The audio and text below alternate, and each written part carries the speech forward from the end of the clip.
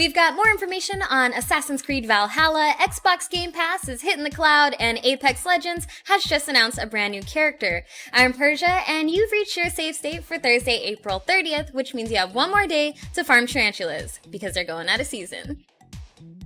Thanks to a full reveal trailer and some interviews, we have so much more information on Ubisoft's newest addition to the Assassin's Creed series. Assassin's Creed Valhalla is set in the Viking Age and will pick up where Odyssey's Fate of Atlantis DLC left off.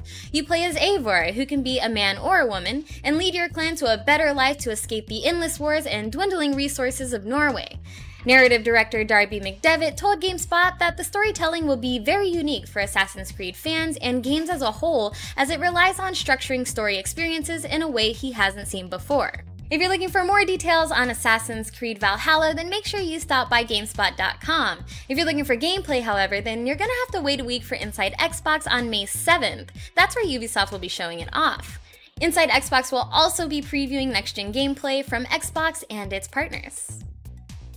That's not all Xbox is throwing at us, as Phil Spencer has announced that its cloud game streaming technology, Project xCloud, is coming to Game Pass later this year. This means you and your friends can stream and play games together on your devices without needing to download your Game Pass games. You'll be able to stream whatever you want to play on the service, which makes it closer to the Netflix of games idea. This is sure to be a bonus for the 10 million Game Pass subscribers there are, but does a service like this entice you to join?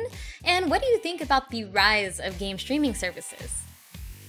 And finally, Apex Legends has announced a new character, she's out for revenge. The latest story trailer, Legacy of a Thief, revealed Loba, who you may remember as the child from the Revenant reveal trailer, in which her father was killed.